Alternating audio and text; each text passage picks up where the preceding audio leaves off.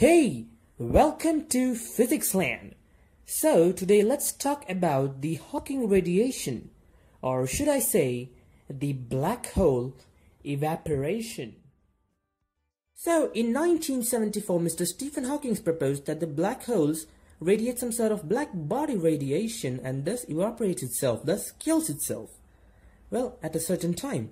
Basically, the space is not completely filled with vacuum but has trillions and trillions of particles.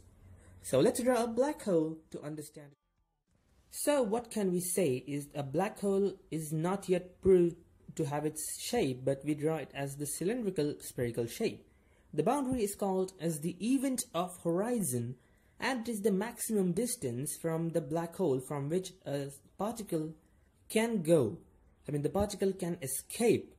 I mean if we go beyond the event of horizon towards the black hole, the particle just will be unable to escape.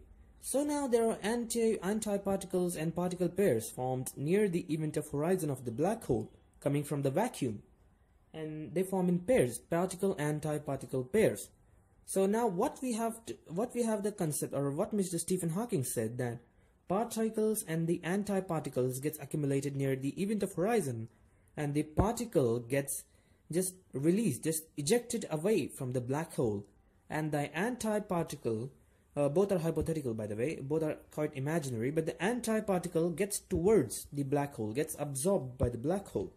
An observer sees the particle release away from the black hole with a positive energy. So the particle gets the positive energy and as the antiparticle is absorbed by the black hole it gets the negative energy.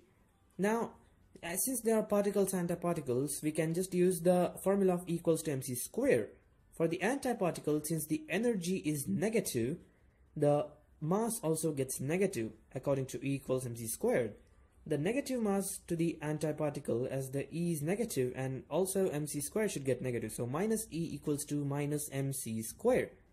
And now in other words we can say that as the antiparticles gets negative mass the antiparticles goes towards the black hole the black hole loses its mass the black hole loses its mass as the negative mass is going towards black hole think of it the other way well, so we can say that so slow and steadily the black hole loses its mass, a particle after particle. Since particles have such a, a tiny amount of mass, we can say, the black hole loses all of its mass in a high amount of years. Let's talk about it afterwards. But the black hole simply evaporates itself. The black hole gets evaporated. The black hole is dead. Well, rest in peace. I'm sorry provided that the black holes are not girls, let's talk about their age. So the formula for the age of black holes can be like 5120 into gravitational constant square divided by c to the power 4 multiplied by Planck's constant, all multiplied by the solar mass cube. Solar mass is a very huge number. Well, the thing becomes solar mass cubes into 1.3 into 10 power minus 17 seconds, and solar mass is 1.6 into 10 power 31 kilograms. So the entire answer becomes 1.9 into 10 power 76 seconds, which is the age of black holes. Here we go.